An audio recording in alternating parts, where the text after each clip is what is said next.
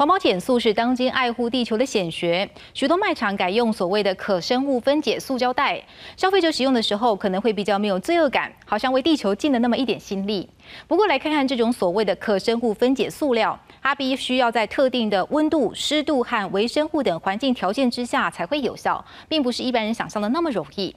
而且这些材质完全无法可回收再利用，如果被字面误导而大量滥用，反而是增加垃圾。对地球的伤害会更大。可生物分解塑胶袋到底好不好分解？美国普莱茅斯大学的科学家试着把它们放在空气、土壤、水中等不同环境进行测试。三年后发现，塑袋并没有什么分解，有的甚至还兼顾到可以装鸡蛋、装香蕉。None of those materials could be relied upon to to sufficiently degrade. Over that time. The compostable bag showed the fastest signs of, of deterioration, but even even then, even with that bag in the soil, it was still present even after 理论上，所有的物质都会随时间而分解，重点在于花多少时间。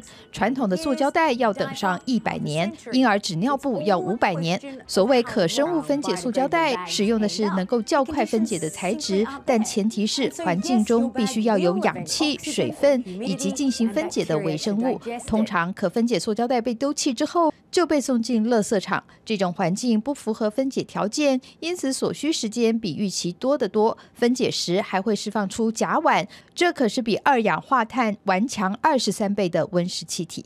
Biodegradable doesn't at all mean recyclable. It's actually the opposite. In reality, we need to get rid of a biodegradable plastic bag. It can't be recycled. It has to be discarded either by sending it to an incinerator or a landfill. So, from an environmental perspective, the notion of biodegradability is very questionable. 再者，可生物分解并没有广泛的认定标准，因此当包装上写着可生物分解，我们无从得知它在什么条件下需要花多少时间分解多少比例，基本上没有参考价值。 目前唯一可信赖的国际认证标章是生物可分解材料可堆肥认证 OK Compost。这类生殖塑胶袋是用马铃薯、玉米淀粉、海藻等材质做成，能在六个月时间内快速分解掉九成，但是同样需要在高湿度、高温六十到九十度的严格工业环境下才行得通，也就是需要相关的处理配套。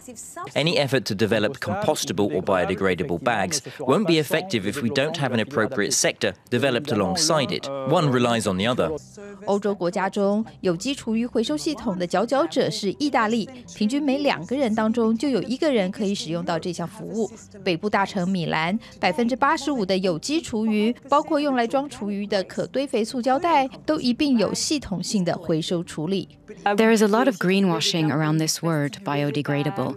We also hear of plant based plastic, green plastic. You need to be suspicious